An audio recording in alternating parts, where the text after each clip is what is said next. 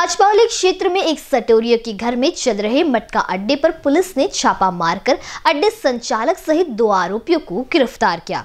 आरोपी सत्यजीत और बबलू सत्यनारायण राय गोंडापुर, अशोकनगर और निहाल शिवराज खैरकर न्यू खदान बुद्ध विहार लश्करी बाग पाचपावली निवासी है। दोनों आरोपियों से करीब एक लाख सतानवे हज़ार रुपए का माल जब्त किया गया है। पुलिस के अनुसार पाचपावली पुलिस ने 3 दिसंबर को गुप्त सूचना मिलने पर सत्यजीत उर्फ़ बबलू के मकान पर छापा मारा। इस दौरान बबलू घर से कल्याण नामक मटका सट्टा अड्डा चला रहा था। पुलिस ने बबलू राय और उसके साथी निहाल को धर दबोचा। पुलिस ने दोनों को ग्राहकों से पैसों की खयावली करते हुए गिरफ़्तार किया। आरोपियों से कल्याण मटके के अलग अलग आंकड़े लिखी चिट्ठी, दो मोबाइल, नकदी एक लाख बयासी हज़ार चार सौ रूपए कैलकुलेटर पेन सहित करीब एक लाख सतानवे हज़ार चार सौ पचपन रूपए का माल जब्त किया। पुलिस परिमंडल क्रमांक तीन के उपायुक्त गजानन राजमाने के मार्गदर्शन में पाचपावली थाने के वरिष्ठ थानेदार संजय मंडे व सहयोगियों ने कार्रवाई की।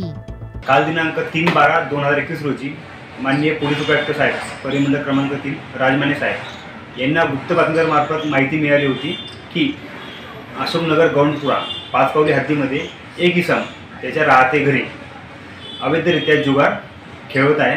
अशा मिळालेल्या माहितीवरून वरिष्ठांच्या आदेशाने आम्ही स्वतः तसेच पोलीस उपायुक्त कार्यालय क्रमांक तीन पथकचे सपोनी मानेसाहेब आणि त्यांचा त्यांचा स्टाफ तसेच महिला स्टाफ असे असे आम्ही सर्वजण गुप्त बातमीदाराकडून मिळालेल्या माहितीप्रमाणे अशोकनगर इथे गेलो. तिथे राहत असलेला इसम नामे बबलू रॉय याच्या घरी गेलो असता त्याने आम्हाला पाहून दरवाजा लावून घेतला.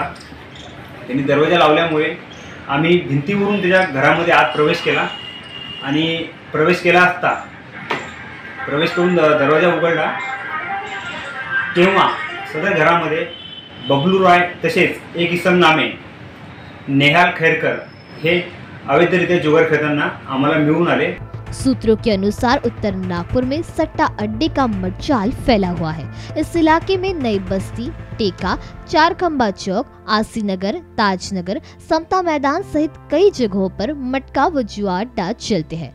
सलमान, रमज़ान, क्यूम अंसारी जुबेर बशीरा अजमत भुरिया जमील अज्जू आदि ऐसे नाम हैं, जो इस धंधे में लिप्त बताए जाते हैं। इन सभी में सलमान और रमज़ान की पुलिस विभाग में कुछ कर्मचारियों के साथ अच्छी साठगांठ होने से अक्सर पुलिस इनके ठिकानों पर कार्रवाई करने में असफल होती है। इन सभी को पप्पू एहसान नाम है, जिसे सटोरियों और सट्टे का दाव लगाने वाले लोग मांडवली बादशाह के नाम से भी जानते हैं। उत्तर नागपुर में कुछ ऐसे भी लोग हैं जो सट्टे के कारोबार में गहरी जड़े जमा चुके हैं। कैमरा पर्सन अखिलेश भारद्वाज के साथ दिशा हटवार बी न्यूज़ नागपुर।